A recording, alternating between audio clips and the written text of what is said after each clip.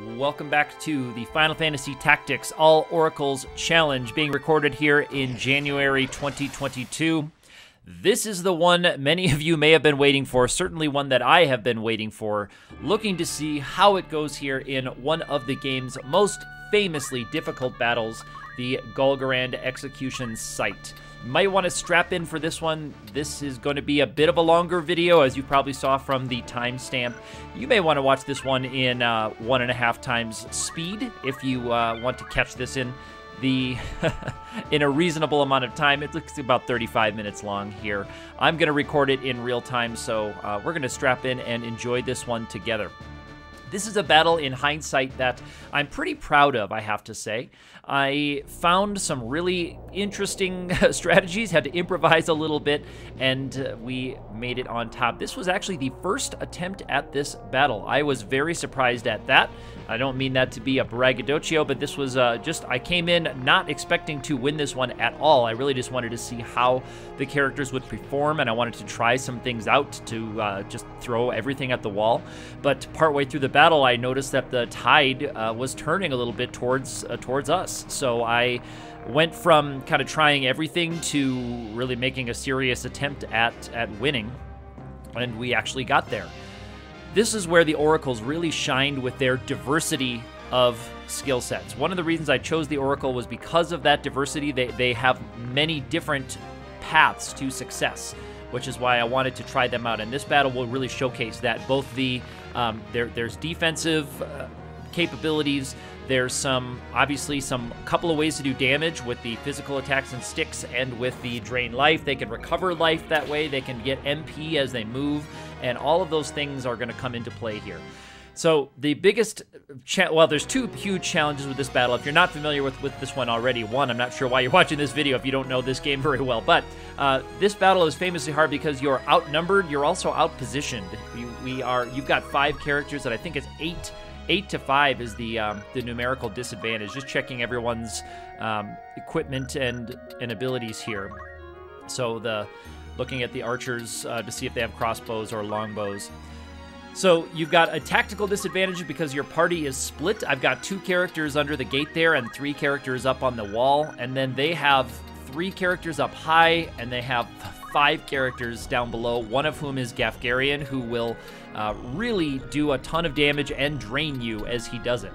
So generally in this battle, the first thing that you do is you try to scare Gafgarion out of here. You try to uh, get him into critical status so that he teleports out. Then you can deal with the rest of these enemies, which are no slouches themselves after that.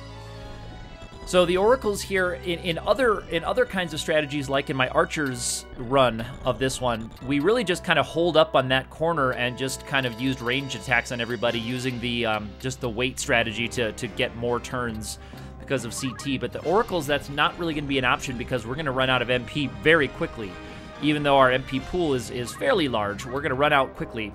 So what you're noticing Ramza do there is he's he's targeting a spell be because at the beginning of the battle the CT for most of the characters is pretty high. So most of us, or most of the enemies, will get a turn before we can cast these spells. So what I'm doing is I'm I'm putting, uh, I'm charging some sleeps or paralyzes on tiles around our characters with the assumption that that knight there is going to move up to us. So if I targeted it on him, he would move up to us and then attack us anyway while we're charging, and then uh, you know we'd get that as well. So by targeting it around us, I'm thinking the knight may move into that spell. I don't know if that's really the best strategy. That was just one of the things I was trying out to see if it would work.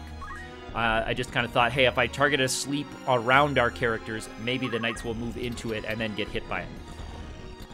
Because in that first round is when things are a little bit more critical. So I'm trying to get my other oracles that are down there by Gafgarion, I'm trying to get them out of harm's way. I'm trying to get them taken care of. Uh, just to get them where they're bunched up with our other oracles. But having them move that far across open uh, combat zone is, is not an easy proposition.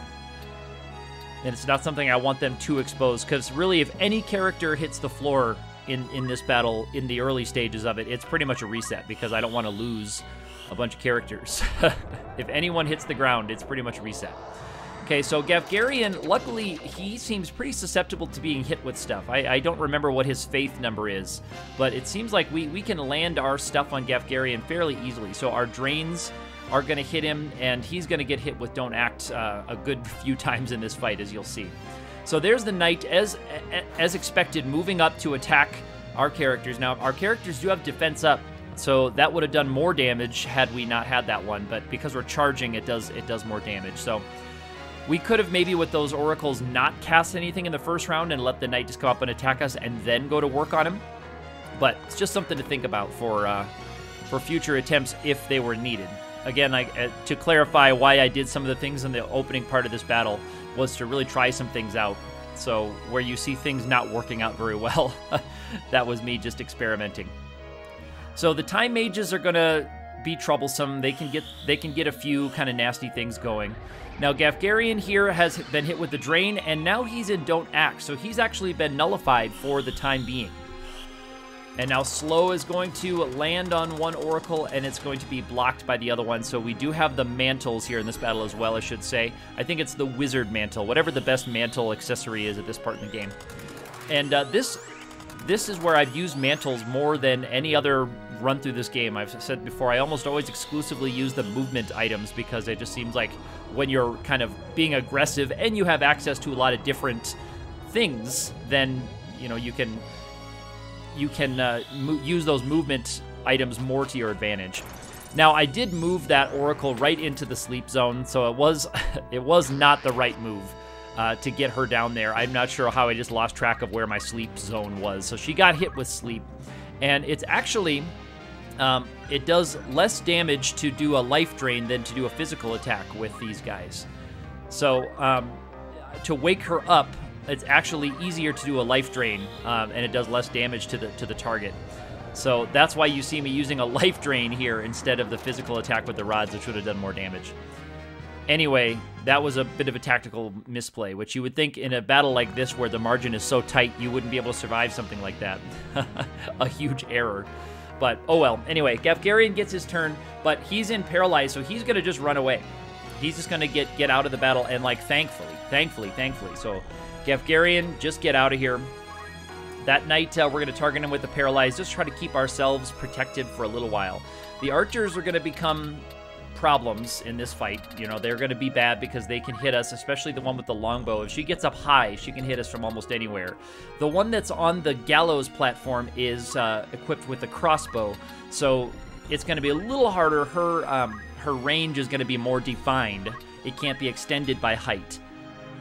But that archer it makes a little more sense for that archer to have a crossbow because she's kind of right there in the in the middle of things so it's not going to be as much of a handicap for her so i was attempting i think a life drain on that uh, time mage up there because both because we've taken some damage from archers now life drain is going to be really important in this battle you're going to see it more than we have in a lot of other battles because we just don't have the stamina to fight a long, long battle with these guys. We're going to take hits here and there, especially from archers. So uh, you're going to see more more life drain use than just petrify everybody because we actually need that recovery.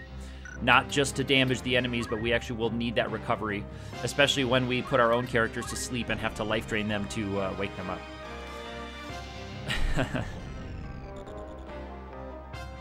because yeah, the, the, archer, that archer down there is going to be moving around a lot and just kind of plinking us. We're not going to take tons of damages, damage from the archers, but it is going to add up over the course of a long fight. So if we couldn't recover with life drain, it would be a big problem. So that knight's going to have the same thing happen, where he got hit with Don't Act and then is going to just retreat for us. So that's good to get them out of there while we kind of move ourselves into to turtle up.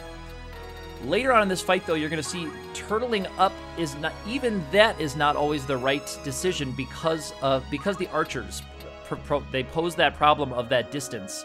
Uh, but so if we just kind of like hang out over there and let the enemies come to us, the archers can kind of keep plinking us from a distance before we can get to them. So eventually we, you'll see us actually start to move out of that formation once we have a little bit more control of the battle. It's actually a really interesting tactical battle, as this always is. So we're going to cast, or we're going to charge Silence on that Time Mage. and we're gonna that time mage is gonna be marked for silence. I've talked about this before. When you have casters who have a silence spell being charged on them, they will on their turn they will decline to try to cast a spell that they think that they're going to fail by the time the spell resolves in the AT list. So there was a movement on the Oracle just to get uh, some MP back, just kind of a waiting move right there, like in chess, where you just kind of perform a, an in-between move to force the en- enemy to move. Uh, so that Time Mage, when she gets a turn, uh, she's gonna think, "Hey, I'm gonna have silence charged on me or cast on me before I can do anything," and so she just declined to cast a spell. Now, if silence had missed, then that that would be a you know of course a nice wasted action for her anyway. So even just charging silence on a character who's about to get a turn can have a good effect for you, even if it missed. Now it did hit, so for the next few rounds, that time mage is going to be uh, incapacitated. But here's another example of just the, the archers doing that that plink damage. You know, just just taking little bits here and there. So this Oracle is going to get a chance to target a spell, and I'm seeing what's going to have a higher chance to hit and is going to net me more hit points. So this higher chance to hit's a little bit more important right now. So she's going to charge the life drain, and then she's going to try to just move as far as she can uh, to get out of range and to bunch up with the other Oracles if she can. Because I'm not really worried about the Time Mages casting any big AoE stuff on us for a little while. I'm really more worried about um, getting a couple of, of enemies knocked out. Once your numerical disadvantage is equalized, it's a little bit easier. Of course, Gafgarion is in Don't Act right now, but as I say that, he has been healed of Don't Act that expires on Gafgarion. So he is now hasted and he's fully capable again. So he's going to be moving into back into the fray here as, as at his earliest convenience, his earliest possibility to do so. And with haste, that's not going to take long. And the archers are charging another attack on our oracles who are moving. Now, missing that life drain was not critical. It wasn't battle ending, but it was not what you want. You really want to be landing as many of those life drains as you can. Because we're just going to need to be uh, healed as much as possible. Haven't seen much healing out of the enemies yet. So you know, damage that we do to them is more likely to stick, with the exception, of course, of Gafgarion, who can heal himself up with the uh, with the Night Sword. But Gafgarion, as we saw before, is pretty susceptible to statuses that we cast on him, and also to Life Drain too, as, as we'll see later in the end. Um, so it's not going to be too bad to to keep him kind of under wraps while we work on the rest of these characters. And there's another archer charging on um, charging on our characters. So that that uh, that plink damage from the archers, you know, you can see it's adding up here. So now I'm looking around. She is within range of casting a petrify, or sorry, on a paralyze um, that will go before Gafgarion. So we're going to try to get Gafgarion paralyzed again. It's hard to get a good angle to see sometimes in this battle, so you'll see me turning the map a lot to try to get a better angle around the uh, the platform in the middle there. So another life drain, another miss on those archers. Um, and that's and that's a big chunk of MP that's gone. And uh, unfortunate that that's that's what's going to happen here. A big chunk of MP just wasted. Now I'm also using, I should say, for for gear. Um, I'm not using all of the best MP boosting items. I'm not using the wizard robe um, or the the the best hat, uh, triangle hat. I think it is right here. I'm using the the H the better HP boosting items. So I'm using like the wizard outfit. I think it is that gives you a little bit more hit points. Uh, and then there's uh, another piece of headgear, a thief hat or something maybe that that is kind of the the medium armor that does more HP, less MP. So we will gain less MP for each movement. So if we are using Wizard Robes, we'd be gaining like 9 and 10. But I think we're gaining like 8 MP per move. But the extra hit points I thought were a little bit more important to start the battle with another like 10 or 12 hit points because that's just, that's another attack that you could eat. Um, and also later on when we're using drain life, we can store more hit points as we're as we're draining more life away. But those archers so far really have been the MVPs for the enemies. The knights, uh, well, one knight got petrified right away. The other knight got put into don't act status and kind of ran away. The third knight has not really been able to chase us down just yet. But you can see me kind of prioritizing, you know, when can I use my drain life and uh, how much how much effectivity can I have with that. So a little bit better chance to land it on the knight, but the knight is not as immediate of a threat as the archer is. So we're going to try to maybe paralyze that archer and bring some enemies down towards us. And also the thinking here is that I can maybe use our uh, paralyze on this uh, on this other knight, depending on what I can do and where I can move to. Checking the name to see when she'll get turns, and looking for her name on the uh, on the AT list. We're at this. This is near the point in the battle where I I stopped kind of trying random things and started like maybe trying to win. When I saw that Gafgarion can be kind of made to run away so quickly and so easily, and once I got past the opening foray and re recovered from that uh, bad tactic of uh, casting a sleep, I guess it wasn't a bad tactic to put a sleep spell around us. It was a bad ta tactic to forget where it was and then move somebody into it. But uh, that might be something to try later is to charge a spell around you in the zone where you know enemies are going to move, kind of bait them in. But here's our, so Ramza's going to actually move a little bit into the into the battle here, just so that he can reach some of these characters.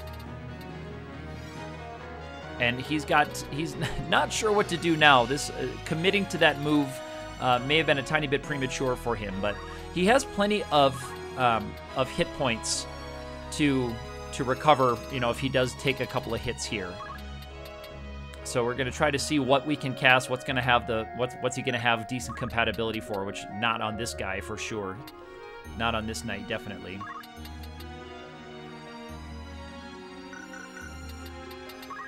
And he's checking checking that archer again. Who can I hit with stuff? And Paralyze is going to go just before Rosa gets a chance to go, so he's going to try that on Rosa.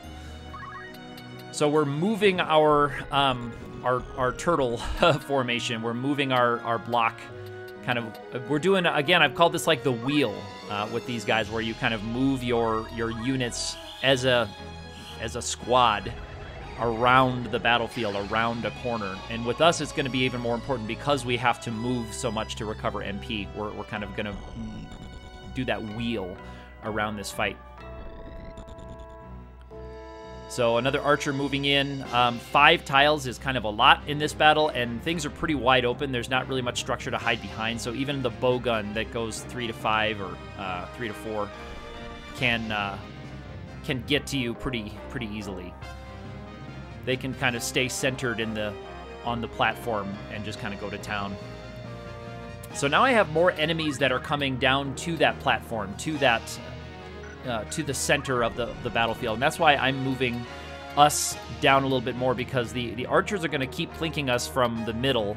So we might as well move to where we can actually do some damage or, you know, cause some chaos within their ranks as well.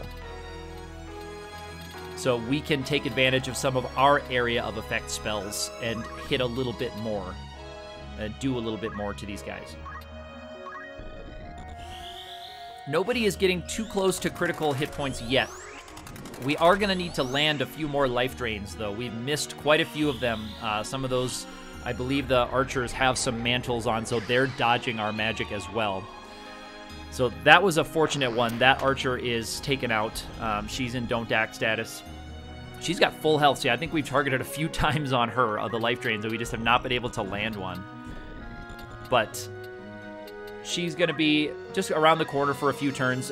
Whenever it expires on her, she will just jump back up into that platform and go right back to harming us. But at least that takes one character, uh, one enemy unit away from damaging us. And that's where we are in this part here. We're just trying to slow down the onslaught. Now, Sleep has um, a, a vertical tolerance of one there, so it actually can hit a character on the platform and then one that's a step up there inside the uh, the apparatus there. So um, sleep is a better choice. Paralyze has no vertical tolerance.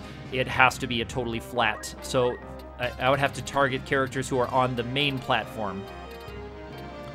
So looking at where things go, this sleep will actually target um, those tiles all around. So I'm going to try to see how many of these characters I can get sleeping here with just just a few castings to try to get multiple of them down. Now, sleep is not as durable as Don't Act. It lasts longer if left alone, but the enemies can just do a physical attack to wake each other up. But I don't mind them doing that because obviously it wastes their action, it does some damage, and I'm I'm happy about that as well. So if they're using up their actions and they are doing some damage to each other, that's okay with me. Confusion would be really great if you can land it, but uh, sadly, it's only one target, and it's also pretty weak to uh, just being knocked out by physical attack. So you won't see me use Confusion in this fight.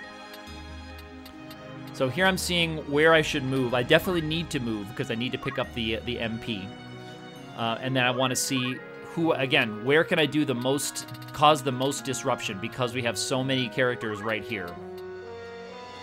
So I'm actually going to target Silence right there. Um, and I I can't actually get the Time Mage. I don't think I actually got the Time Mage in the Silence window. But uh, because she didn't quite get a turn, I can maybe land Silence on the Time Mage.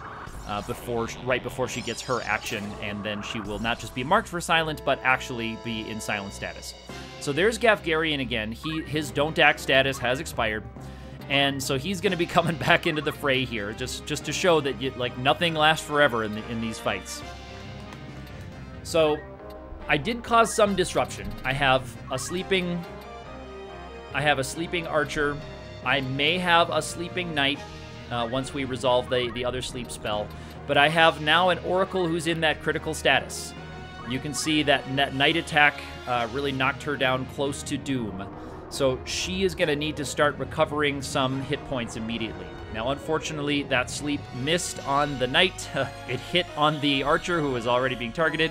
Now, let's see if this sleep, which targets three characters, can put someone else to sleep. Finally, that knight does go down.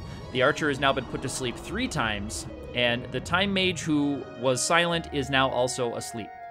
So we really have caused significant disruption right there. I'm happy about that. I'm unhappy about my one Oracle who is in rough shape down there. And that knight seems to, I haven't checked the, the faith value um, recently looking at that one, but it seems like it might be, must be pretty low because that knight, we're going to have a hard time landing on that knight. Seems like everybody has a tough time uh, landing anything on that knight, which is going to be really sad because we, we're going to need him as like a, an HP reservoir so now I need to decide what do I want to do? Do I want to keep going for these like 65% chance life drains, 66% chance life drains, uh, or do I try to incapacitate that knight with a don't act, which may have a little bit better chance to land, but still not uh, guaranteed, still not perfect. Let's see if this petrify will land on the archer. It sure does. So that's good. So that that archer is totally out of the battle now, and it actually blocks that tile, which is good. Okay, there's one life drain landed. That's going to be really important for us. Okay, she absolutely needs to land a life drain because she herself is is quite low. Uh, and but again, just the the chance to land is, is low on this knight that's that's sitting right there. I have a 100% chance on that knight that's up on the on the apparatus, but he will wake up from sleep if he takes any HP damage. So I'm between that. I could leave that knight sleeping and try to drain this other one that's got really low faith um, or, you know, go, go for it here. And that's what I do because of this. So because I can do this move that you're going to see, I charge the spell right there, and I'm going to move this other Oracle to kind of run block for the weak one so that if that knight gets a turn, which he will soon, um, he will not be able to kind of sneak around. So if this life drain does indeed miss, which it does not, thankfully, she picks up a good chunk of hit points, then that knight would not be able to walk up and, and coup de grace that, that other Oracle. So he would have to walk around my Oracle here. He wouldn't have a straight shot. So that's why I was able to do that move. And thankfully, we did land a couple of life drains. So we picked up some, some hit points from that knight. And now here's Gafgarion. This is curious. This is actually pretty cool. Gafgarion goes for the Night Sword on his own unit to wake him up. So that knight is now awake. I'm counting tiles here with Ramza to see where I want to go and how aggressive do I want to get with them and where, you know, what can I cast and when. Ramza's got full health here. He's got full full hit points. That knight is down to 44, so he's taken three life drains. He has got one life drain left in him. A life drain that lands will uh, will finish that knight off. but Ramza looking at, I'm also in possible stick range of that knight if I go right to his front. But Ramza looks like he's just going to move to um, target maybe a life drain to finish him off. And we have a 49% chance to land it, so coin flip to uh, put an end to this knight right here. And indeed, it does land. There it is. Ramza did not need the hit points, as some of my other oracles do, but uh, he gets it anyway. So now, thankfully, we this is again. I can see that tide is turning a little bit. The mantle really helped us right there because I would not like to take too many more hits from from knights, especially while we're charging. Uh, before we can recover a little bit more. But I've got this is another bonus because of life drain. I have another pretty decent um, HP reservoir standing right there in the form of that knight. So if I can get some of these to land, I can I can use that knight to recover a little bit. So not just offensively uh, taking his hit points down to zero, but I can recover all of the his, the hit points that he has brought into range of us. That's kind of a dark way to look at it, but it's uh, pretty pretty cool that we have the capability to do that. So she doesn't at this point have enough to cast Life Drain, but she's going to have to move anyway. Uh, she has 14 MP. Life Drain costs 16. And so you can see, you know, at this part of the battle where we're running a pretty good deficit of, um, of MP. But this knight has much higher faith, and so landing the life drains on that knight is a lot easier for us. And so she really needs uh, the hit points more than anything. So she's going to target the life drain here. She's got 100% chance to land. So that knight, because he's a lot more susceptible to landing these things, we're happy that we can kind of almost get ourselves back up to full health on the back of this knight. Now, this knight, I think, has a robe on. That's why he has a less uh, hit point pool in general, and that's why we gain less from him, because I think instead of heavy armor, he has a robe. So that archer is now out of don't act status, and that's why the archer moved up and attacks the time mage to wake her up. But again, it they burned up actions and they did damage to their own party in the process there. So that sleep was uh, was worth it for me to, to do, of course. And so she's going to look at the attack value, and now it's huge damage, which is great. But then my life drain is going to fail from the other one. So I think that was probably a, um, a misplay right there because I would have rather had that one pick up her, uh, her HP. Now, Gafgarion has, again, moved himself. He's moving towards us. He's moving aggressively, which is what the game tells him to do, but he couldn't quite get into attack range from us, unfortunately for him. So now we are just going to go over and put him back into don't act status. So Gafgarion once again uh, is not going to be able to uh, to get to us before he's once again uh, debilitated by our our oracle magic. So I'm looking to see again where I move because again I need to move somewhere, at least one tile, and then I need to get an action in here. So I was, yeah, I took that knight out with a huge uh, stick attack, really mostly because I saw, I was like surprised at that damage readout. I was like, what? but I should have, uh, in hindsight here as I'm recording it, I should have let the other Oracle drain him so that her MP weren't wasted and she actually got a little bit more uh, hit points.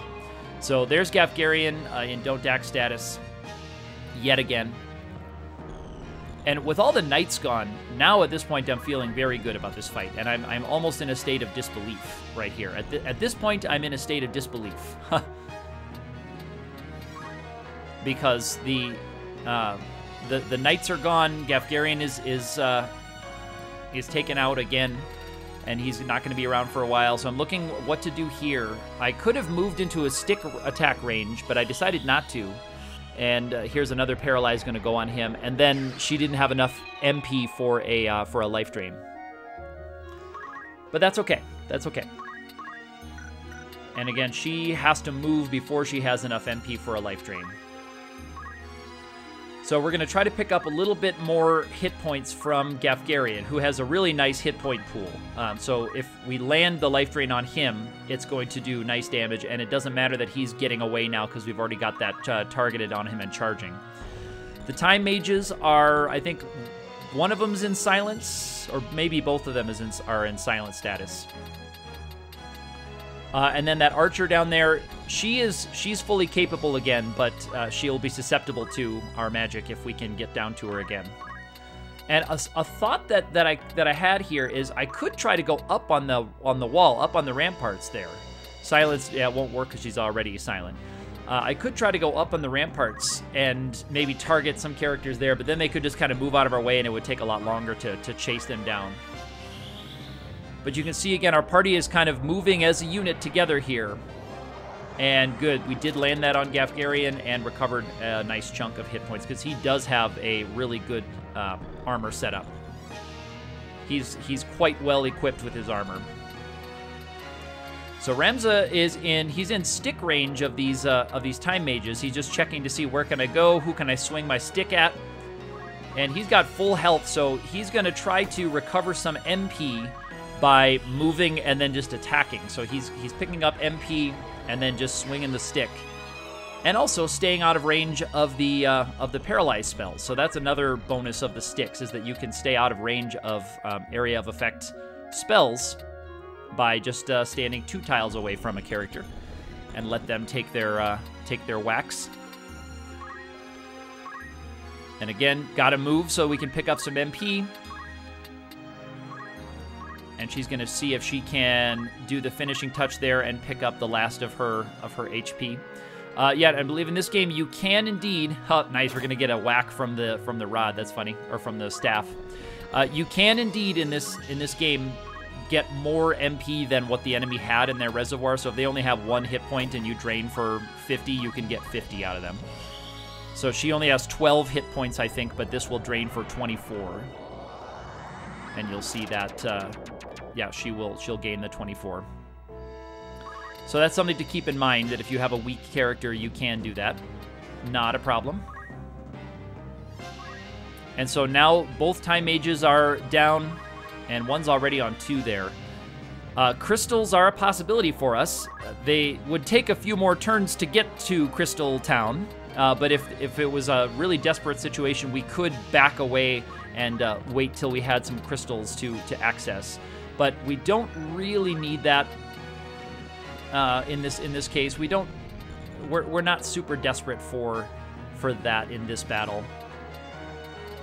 So I'm looking to see what I can do with these characters. Uh, let's might as well go for the Petrify 50-50 shot on that archer. And she does that archer's bow is back online, but we have defense up and we all have pretty good uh, hit points. So we're not we're not super worried about that. Okay, here's Ramza moving up, uh, and he's going to try to get into range to do something. It looks like he's got yeah he's going to try to do uh, to paralyze. Going to go don't act on the archer, and now our sticks are actually pretty viable weapons here in this fight. Maybe not a little bit harder to land it with Gafgarion and his shield attacking right into his face, but for that archer for sure, uh, she has a, maybe a mantle on, so some some evasion. So Gafgarion is reparalyzed, and the archer is paralyzed again. So now we can start to move in a little bit. The uh, the sharks are circling, and both of my targets are kind of trapped back in there uh, in that in their little hole. And I think because they're in don't act status, I think they're actually just going to stay uh, trapped back there. I don't think they're going to come out at us. And it, because of that, I think because of the um, the faith value of that archer, landing anything on her is going to be difficult, especially Petrify, which has a lower accuracy anyway. So I'm just looking to see what I can do as I'm moving into uh, moving into position here. There's another Petrify. Gafgarion, I think, is just going to wait. Yeah, he's just going to wait. He's just going to chill. He's going to try to get some turns. There's nothing he can do. He can't act. There's nowhere for him to move, really, without getting into uh, into the line of fire. And so you can see our sticks are really coming into play there. That's a hit for 70 on the stick for those of you keeping score at home. And now Ramza can actually, if he wants to, he can move and also be within attack range of that archer. And so that's another advantage of the sticks is that you can attack and then have another character move in and attack on the same side. With a one tile thing, um, that would not have been possible, but because of the sticks, we have a two tile attack and then Ramza can move in for the one tile attack. And so she's looking to where can I drain? Where can I do some damage? Gafgarion is going to have to be taken out with damage. He cannot be petrified. He's got that protection from that, but it doesn't matter. He's got great compatibility. We might as well do Drain on him anyway. So we're going to have to use our Sticks or Drain Life on Gafgarion. Petrified does finally land on that Archer. I've got one more Oracle just kind of hanging out back here. She's going to move. I don't know if she can quite reach them with her spells yet. No, so she's just going to wait. There's a crystal back there if we need it. Um, but that archer is petrified. We're going to move into position here to go after Gafgarion. We're just going to swing the sticks at him, and boom! I guess I guess there's no um, no shield Reno there. And that is Gafgarion down right at the end. Usually you take him out first. This time we took him out last. And that is the Golgorand execution site. If you like this video, of course, feel free to hit that thumbs up button, subscribe, make a comment, or hit me up on Twitter, where I am also active underscore ATE. We're moving right along. See you next time.